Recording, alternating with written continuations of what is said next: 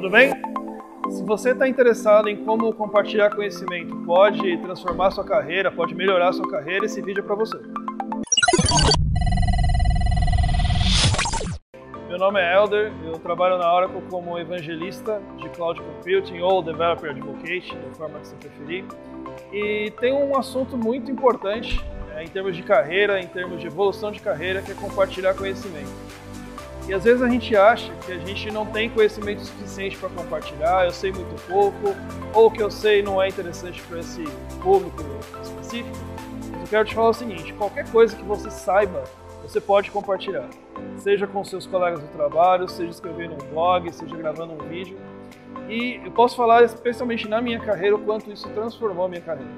É, a momento que eu comecei a compartilhar conhecimentos específicos, isso começou a gerar em torno da, da minha carreira algo significante, algo que fazia diferença. Ao ponto que eu vim trabalhar na hora, ao ponto que eu fui convidado, inclusive, para escrever um livro. Né? Então, às vezes, as pessoas falam: como é que eu escrevo um livro? Começa a compartilhar conhecimento. Né? Mesmo que você não seja convidado, você queira escrever um livro por sua própria iniciativa, ainda assim você precisa de um conhecimento compartilhado através daquele conteúdo. É a única coisa que eu diria que realmente garante que vai transformar a sua carreira porque realmente isso começa a gerar resultados práticos na sua carreira.